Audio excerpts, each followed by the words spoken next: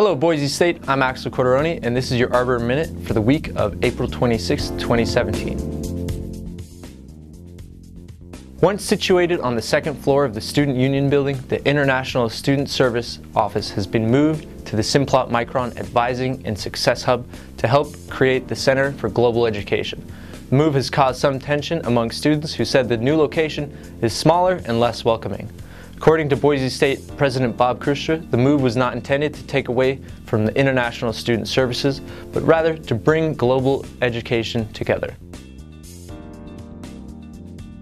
Emily Ruskovich, author of Idaho a Novel, has been hired by the Boise State English Department to teach in the creative writing program in the fall of 2017 semester. Ruskovich is the recipient of the 2015 O. Henry Award for Short Fiction and has been published in Zoetrope, one story in the Virginian Quarterly Review. Her course, Form and Theory of Fiction, will be taught for both the undergraduate and graduate colleges.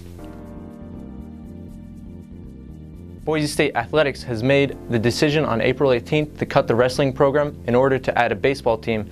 This was not an easy decision, but one that needed to be made as we consider the long-term vision for Bronco Athletics, said Apsey in a press release on the decision. We have been on a year-to-year -year contract with the Pac-12 which makes long-term planning and being in control of our future difficult. I appreciate that the wrestlers and family want to petition, but this isn't a decision that is revocable. The decision is final. We have to move forward, said President Bob Kustra. That has been your weekly Arbiter Minute and the last one of the semester. Thank you for watching. For more information on these stories and others, visit us on the web at arbiteronline.com. And to all the graduating seniors, congratulations.